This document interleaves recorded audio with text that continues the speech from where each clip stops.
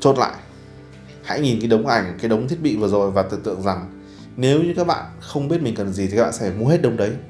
Và nhà của các bạn thành một bãi rác như nhà mình.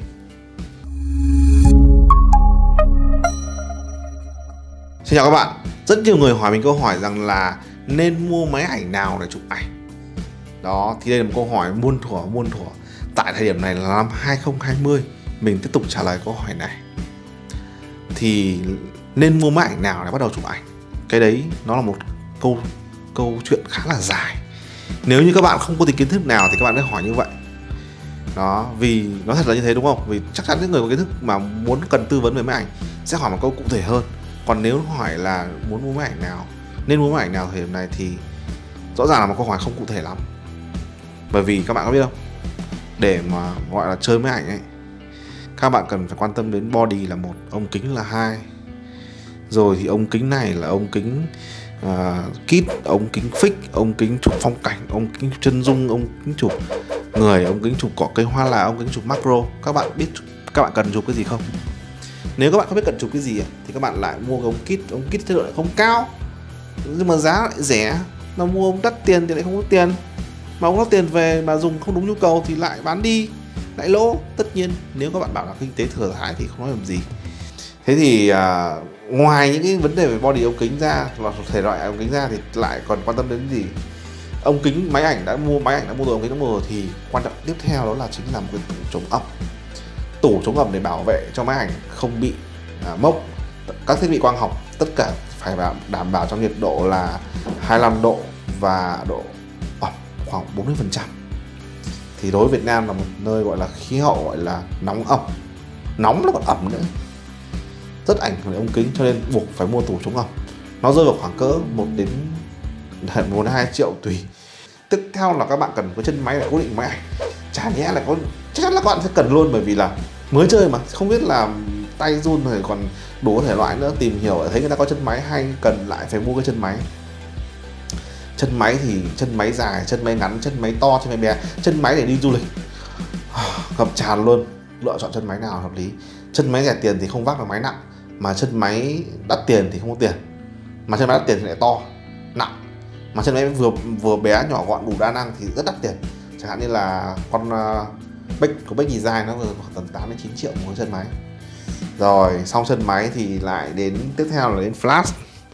Nếu các bạn chụp ảnh uh, ngoài trời phong cảnh hay gì ấy hay trong nhà hay chân dung lại phải mua con flash để ánh sáng. Rồi bây giờ muốn có máy ảnh rồi muốn quay clip một tí thì phải có cái mic. Mic đây. 5 triệu cái mic này không hề rẻ đâu nhá. Thấp nhất đấy. Mic này mới đủ chất lượng còn những mic khác thì mình không nói. Rồi thì uh, sạc pin hộp sạc pin như này.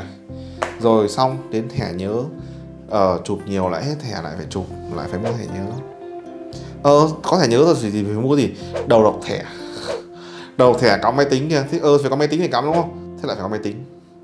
Đấy đã mua máy ảnh phải có máy tính để chỉnh sửa ảnh. Hết máy ảnh ra thứ rồi thì bắt đầu quan tâm đến là cái gì nhỉ? Túi đựng máy ảnh. Phải có túi đúng không? Không có túi vác ra ngoài làm sao? Rồi tiếp đến là đèn chụp rồi thì đèn quay. Tôi biết các bạn nói thật là nếu mà đã hỏi câu chung chung như vậy ấy, các bạn kiểu gì cũng phát sinh rất nhiều nhu cầu. Máy ảnh mà bây giờ không có đèn quay thì không thể quay được mà đèn chụp ảnh thì không thể nào làm đèn quay được. Mà đèn quay thì không thể nào chụp được. Tất nhiên là ừ, cũng, cũng, cũng có thể được nhưng mà nó sẽ không ăn thua. Thế lại phải mua đèn quay như mình này có cái đèn đằng trước này? xong rồi đèn quay rồi thì phải có shot bóc tản sáng để cho ánh sáng nó mềm ra.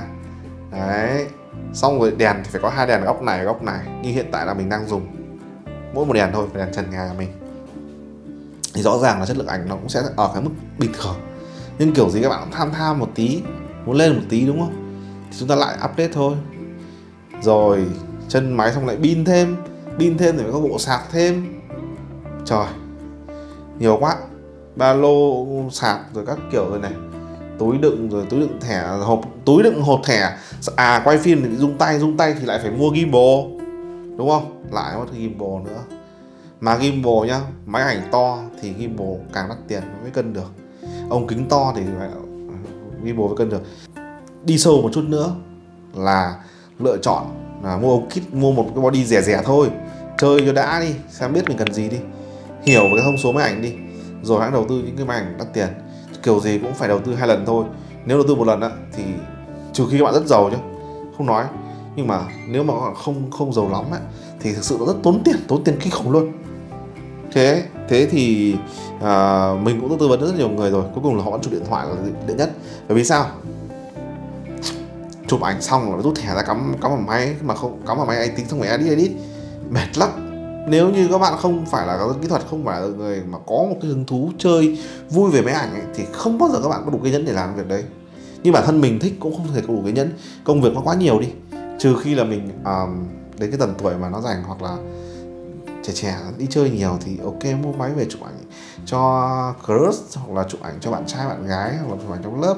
Nó vui vẻ để mình để mình để mình gọi là trải nghiệm thì ok. Thì uh, nhân đây mình cũng giới thiệu là con mình đang dùng là đang quay và đang dùng hai con luôn đấy là con Sony à, uh, ZV1 này mình review rồi. Nó rất là ok đối với mình. Đối với mình thôi vì mình đã dùng qua rất nhiều máy rồi. Mình cũng trải qua từ đầu là mình cũng mua hết cái nọ đến cái kia.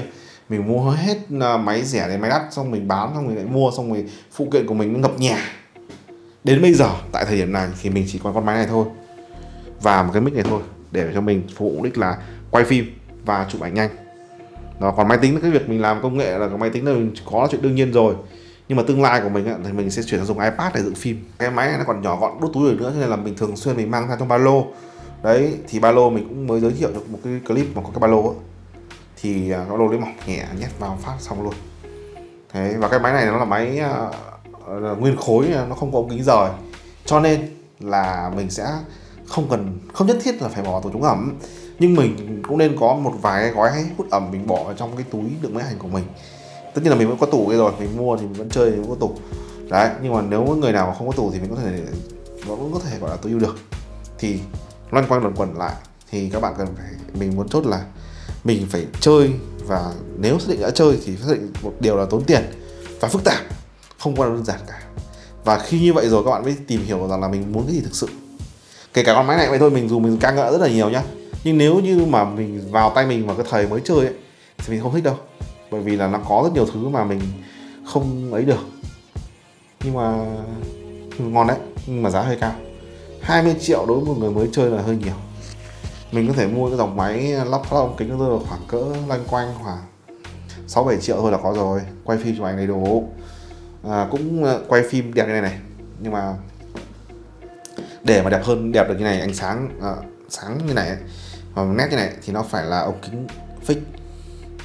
Đó thì các bạn lại phải nói chung là các bạn phải xác định rõ nhu cầu của các bạn cần mua máy ảnh để làm gì.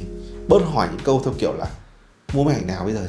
Nhưng mà làm gì thì không ai nói hỏi không ai biết. Nếu các bạn không biết là mình làm, làm gì ấy, thì các bạn không nên mua máy nữa mà chỉ dùng điện thoại thôi. Mình đảm bảo là đủ nhu cầu. Mua con iPhone này 10 triệu nghe gọi chụp ảnh tẹt ga quay phim các kiểu đấy 164 GB đủ rồi đừng có ham hố dùng dung lượng cao chốt lại hãy nhìn cái đống ảnh cái đống thiết bị vừa rồi và tưởng tượng rằng nếu như các bạn không biết mình cần gì thì các bạn sẽ mua hết đống đấy. Và nhà của các bạn thành một bãi rác như nhà mình. Mà bây giờ mình thanh lý hết rồi nhà mình giờ rất gọn gàng không có gì không có gì. Không có gì hết bao nhiêu là máy xịn máy máy máy mẹ máy con máy to máy to máy bé máy quay máy uh, camera 360 các kiểu. Thanh lý hết. Mình chỉ còn mỗi con này thôi nhưng mà đừng mua nhé không phải là mình uh, chào hàng đâu. Nhưng mà hãy tìm hiểu lúc đấy hãy tìm hiểu nhé rồi chốt lại thì thế thôi. Số điện thoại đi. Và khi nào mà xác định rõ nhu cầu thì cũng mua. Rồi xin chào hẹn gặp lại các bạn.